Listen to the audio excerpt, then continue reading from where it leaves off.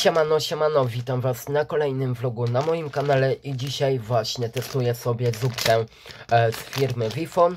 Jest to zupa błyskawiczna z kluskami ryżowymi. I właśnie taką zupkę sobie teraz przetestuję dla was i zobaczymy czy jest dobra.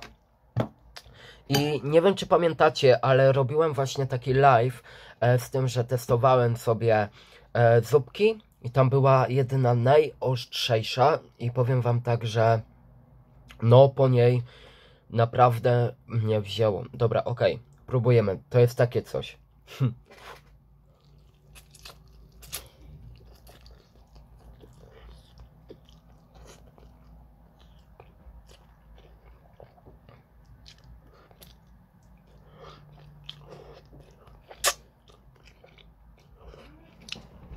No i muszę wam powiedzieć, że poczułem się trochę jak w Japonii albo w Chinach.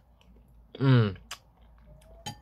Tutaj jakieś mięsko jest, ale wiadomo jakie to jest. ok, tam przykryć na 3 minuty. Nie przekrywałem, ale tak jest bardzo dobre.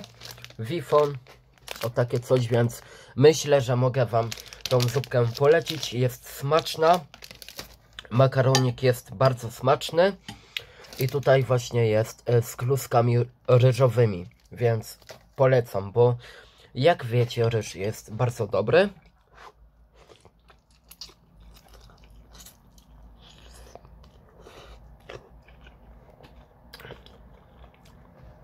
Smak ma bardzo dobry. Tutaj jeszcze pomieszam, bo tak nie mieszałem, wiecie, za specjalnie. Ale jest dobry. Polecam wam. Pozdrawiam.